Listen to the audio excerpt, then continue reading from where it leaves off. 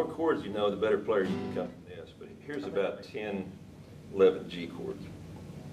One, two, three, four, five, six, seven, eight, nine, 10, 11. And all these G chords, I start thinking about when I'm doing solos, how to connect all those together. You know? I never really worry about speed on guitar. Uh, my, my speed came later. I always worried about getting the notes uh, as smoothly as I could. Play these two. This is a slide pull off. So if you, if you go and play one of these shows at Branson, do you get to improvise that, or is it all written out? How does that work?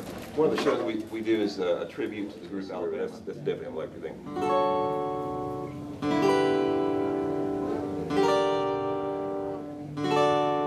You start the string bending. Just B minor. How about this for a bar chord? Look at that. It's like A6 or something? Yeah. I, I put this book together. This is not all original stuff, but it has some stuff that I teach at the college, like Ave Maria, some classical stuff. It has uh,